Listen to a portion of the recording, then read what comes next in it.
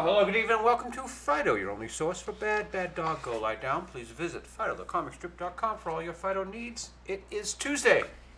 And all your Phydeaux needs should be met. Yes. Uh, Dino's still trying to be a writer. Sitting there one morning, looks out, the sun is coming up, he types.